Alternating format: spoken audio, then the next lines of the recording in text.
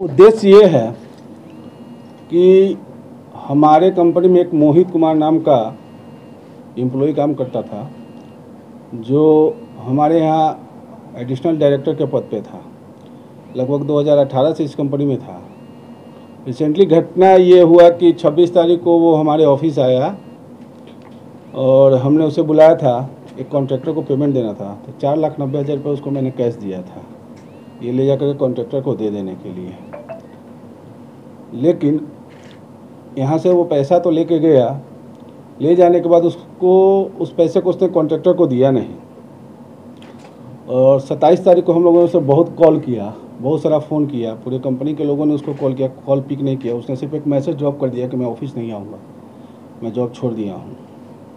उसके बाद से हम लोग बहुत सारी प्रयास किए उससे मिलने के, उसके घर तक हमारे वाइस प्रेसिडेंट रवि राज जी भी गए हैं, दो बार, तीन बार, क्या परेशानी है?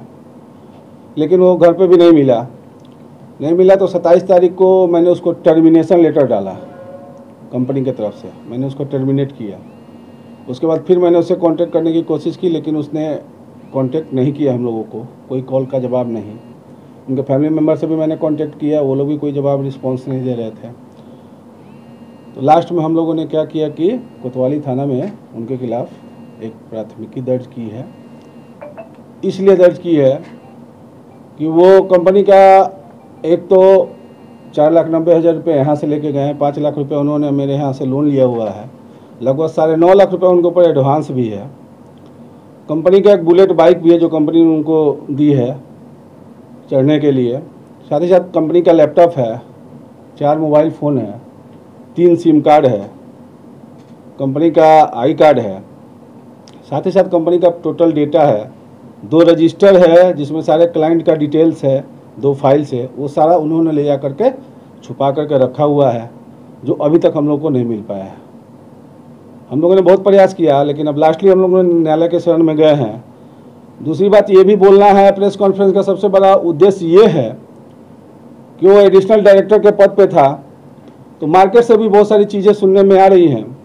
तो प्रेस कॉन्फ्रेंस के माध्यम से मैं अपने सारे कस्टमर्स को, जो भी हमारे क्लाइंट्स हैं, जो भी हमारे वायर्स हैं, उनको भी ये बताना चाहता हूँ कि मिस्टर मोहित कुमार को कंपनी ने टर्मिनेट कर दिया है, उनको एक रुपया भी देने की आवश्यकता नहीं है। अगर किसी भी तरह का कोई भी ट्रांजैक्शन करना वो डायरेक्ट कंपनी में आकर के ही करें।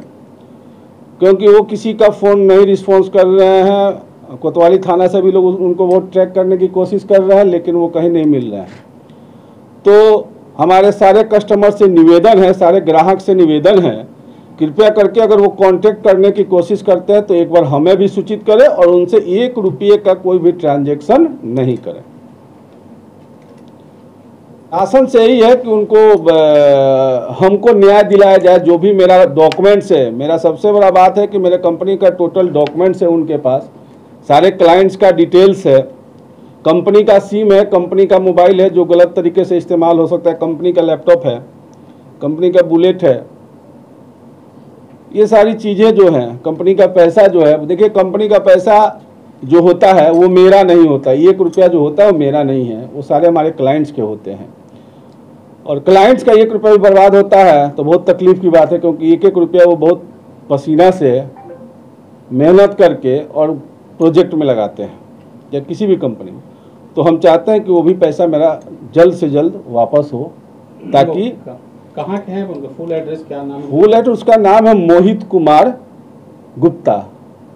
अभी वो आपके महेश नगर रोड नंबर चार में रहता है किराए के मकान पे। उनकी माँ से भी मैंने कांटेक्ट किया। उनका उनकी माँ का नाम है किरण गुप्ता। वो सेविका ज्वेलर्स में सेल्समैन के पद पे काम कर रही हैं।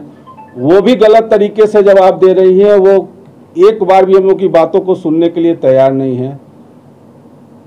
बहुत गलत तरीके से वो जवाब दे रही है। थाना ने कोतवाली थाना भी उनसे क्वेश्चन करने की कोशिश किया बात करने की कोशिश की उनको भी सही तरीके से जवाब नहीं दे रही हैं। कब से आपसे कांटेक्ट नहीं हो पा रहा है उनसे? छब्बीस तारीख को यहाँ से वो पैसा लेके गए छः बजे शाम में। सुबह में उन्होंने जब आठ बज के कुछ मिनट पे उनका मैसेज आया है। कि मैं कंपनी छोड़ दिया हूँ तो मैंने कॉल बैक करना स्टार्ट किया तो कोई कांटेक्ट नहीं हुआ। अहम डाटा जो मोहित के पास है कंपनी का वो अभी तक नहीं पहुँचाया जा रहा है। इससे कंपनी को नुकसान भी तो हो सकता है। बिल्कुल मेरे कहने का मतलब भी वही है। मैंने अभी यही बात बोला कि बेसिकली सबसे ज़रूरत है जो मेरे कंपनी का डाटा है मेरे क्लाइंट्स का पूरा डिटेल्स है वो मेरे को चाहिए। प्रशासन और न्यायालय और आप लोगों से भी यही निवेदन है कि कृपया कर ऐसा कोई उपाय करें जिससे मेरे को पूरा कंपनी का डाटा मिला कितना कस्टमर होंगे? कस्टमर बहुत सारे हैं ठीक है ना?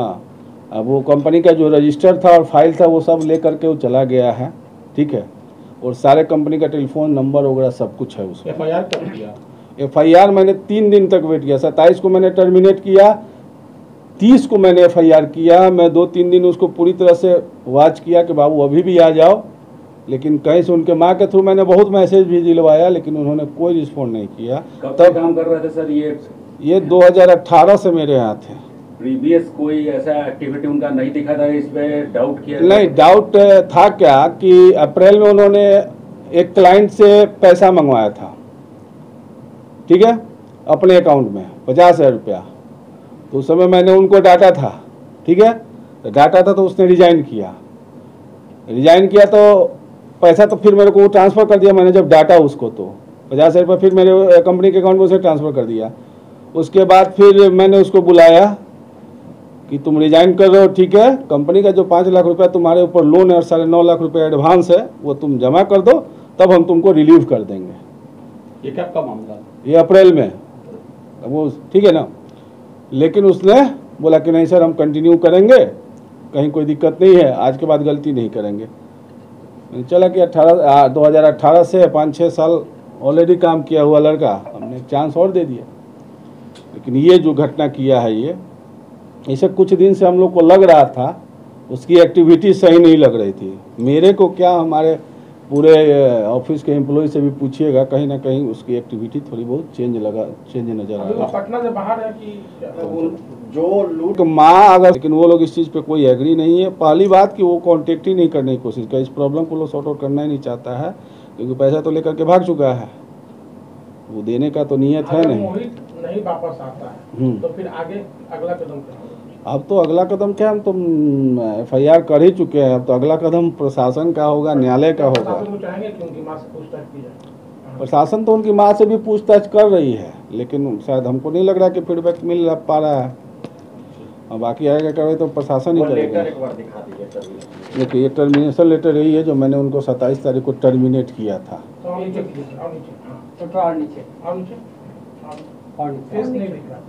और नीचे। कीजिए और